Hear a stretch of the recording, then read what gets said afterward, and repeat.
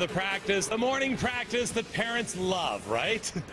A lot of these parents getting up at 5 o'clock this morning. We are live at the Seymour Hannah Arena, the sports complex in St. Catharines for Rogers Hometown Hockey. Uh, I get a chance to sit down for a little bit uh, here. Are we talking to Dina here? Just me? Oh, I miss talking to Dina about this time. I, I can have a coffee with Dina right, right here, don't you think?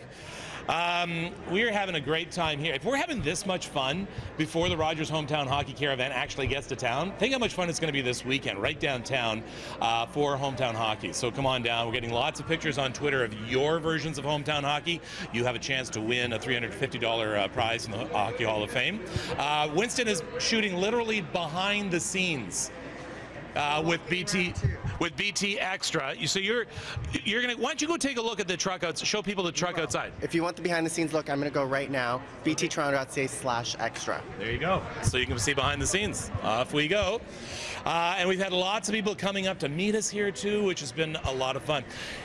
Marcel Dionne, who is one of the all-time greats. He's uh, sixth, I think, now in the all-time uh, scoring leaders for the uh, the NHL. Jaromir Jagr just passed him. Lives here in the Niagara region. He's in Niagara Falls. Has a memorabilia shop and the Blue Line Diner. And I had a chance to go and check out the uh, the, the diner and some of the memorabilia shop as we were wandering around together, and to meet Marcel Dionne. That was pretty exciting. I I, get, I, I, was vaguely aware that he was here in the Niagara region. Uh, so I also had a chance to sit down and have a coffee with him, talk about his take on hometown hockey. Here's just a bit of what he had to say. $300 stick. You know, could you imagine having asking your asking your dad, Dad, I need I need to get a $300 stick. This is the biggest topic when everybody comes here. When I ask the kids between 9 and 13, it says, how much did you pay for your stick? You want to see the thing? He says, they look for dad or mom. And that's the problem. $150, $200 for a stick? Where does that come from? I take a stick, it's a show Sherwood 5030, and I had a CCM at the same time too when I started. They were similar, wood shaft.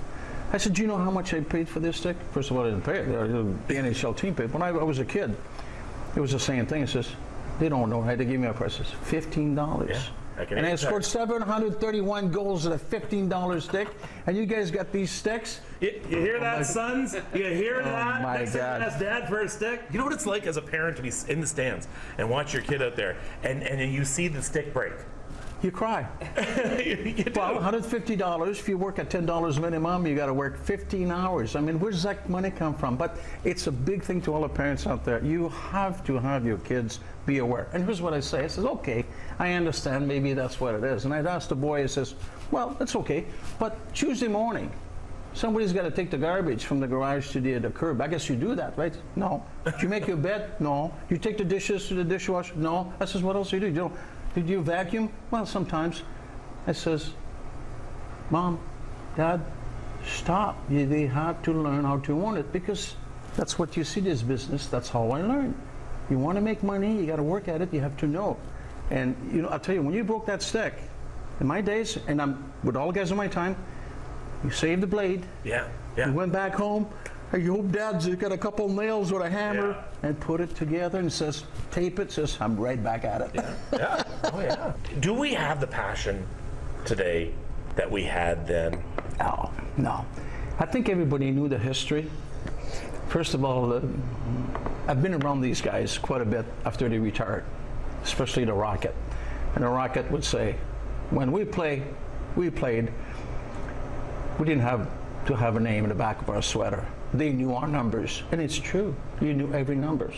What is the secret to being a great? Why could you score so many goals? Is it because you went fishing, because you relaxed, or I need to know. I need to draw out of you what is the secret? How could There's a born there's a, there's a there's a talent that's there. Okay, there's no doubt about it. I was born with it. Up to the age of 14, it stopped growing. My dad was 6'1". My young brother played in the NHL 6'1". He just mentioned it. Passion. The superstars of any leagues, the great players, they want to do it over and over. I scored three goals on Wednesday, right? I wanted to do it on Thursday.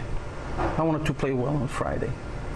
A lot of guys I played with, and they, they, they, were, they were good players, but they fell asleep when they got that two or three goals on Wednesday, and he took a break for, for a month.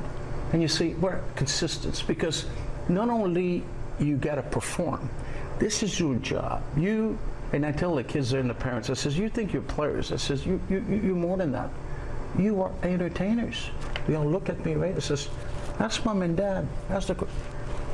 And the entertainers are going, because you make fun. You, you please people. So I tell him, I says, people booed me everywhere. Everywhere I went in the NHL. When I played junior hockey, hey, Dionne, you suck, right? And I said, do you know why they said that? Well, obviously they hated you. I says, no, they like me because they knew I was good. Three, two, So when you're in Niagara next time, uh, drop by to the Blue Line Diner. It's over on Montrose, just off Thorold Stone. Uh, Marcel most likely will be there, and boy, he loves to chat, and that's great because he has some great advice for the kids. In fact, uh, if you have a hockey tournament in the Niagara region, try and make plans to be at the uh, Blue Line Diner. Um, speaking of diners here, this is how uh, arenas have changed a lot. Is a lot of these sports complexes now have these these restaurants and bars in the middle. Here's Matt. Hey Matt, thanks a lot for your hospitality. It's great to have you guys here. We're big fans, so it's exciting for everyone. Uh, I appreciate that, and it's just it's just great here. And uh, little Bailey's for my coffee, please. no, he, he can't do that. Uh, we're going to take a break on Breakfast Television. We'll have uh, the news headlines from Toronto in just a moment.